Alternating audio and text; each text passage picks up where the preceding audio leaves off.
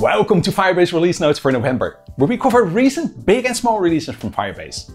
Now we have a lot to cover today, so let's dig in right away. And we'll start with some highlights from the Firebase Summit that we just concluded. First up, we added many new Firebase extensions and we updated some existing ones, including adding the ability to process one-time payments and handle more payment providers with the Stripe extension. Then we added a new extension to process payments with Google Pay too. And with the new Ship Engine extension, you can calculate shipping costs to any address in the world and print shipping labels with just a few lines of code. And there is now beta level support for tvOS and macOS in many of our SDKs, so that you can build apps that are compatible across many Apple devices from a single codebase. We have new documentation on what data each Firebase product collects and shares to help you prepare for Google Play's new data safety policy, which launches to app users next year. Crashlytics added application not responding or ANR reports and bulk issue management to the console, in addition to signaling three common types of issues that I mentioned last month. And finally, you can now automatically optimize the individual experience of each user of the app through the power of machine learning, with a beta release of personalization in Firebase Remote Config. And as said, there were even more updates at the Firebase Summit, so read the blog post and watch the videos that are linked below for full details. We had a lot of recent updates for Firestore too, so let's quickly look at those. The Firestore SDKs for C++ and Unity are now generally available for Android and iOS, meaning that they are ready for production use in your native mobile games. Desktop support remains in beta and is mostly meant for use during development.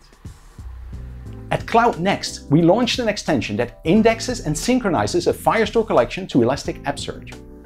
This is in addition to the Algolia extension that we already offered, so it's giving you two great choices to add full text search to your Firestore documents.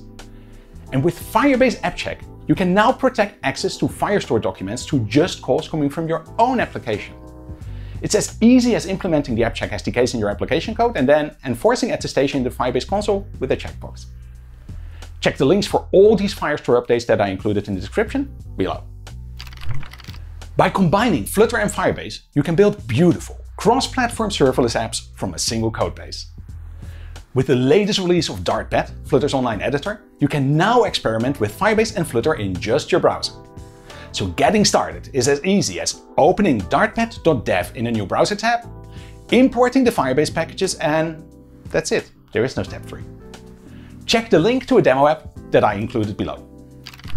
Between Firebase Cloud Messaging and in-app messaging products, you can reach your users both at key moments when they are actively using your app, and you can re-engage them when something important happens while they're not using the app. In the Firebase console, you can now manage all your messaging campaigns from a single screen. You can search and filter, and you can check engagement metrics for each of your campaigns on things like open and click rates.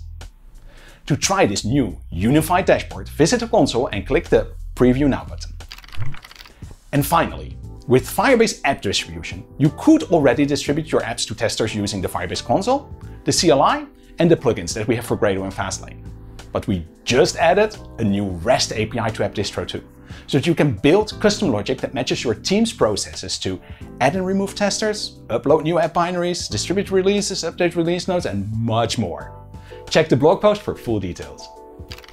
Those were all the updates we have time for today. If you enjoyed this video, be sure to like it and subscribe to the channel below. My name is Frank or Puf, and I'll see you on a future episode of Firebase Release Notes.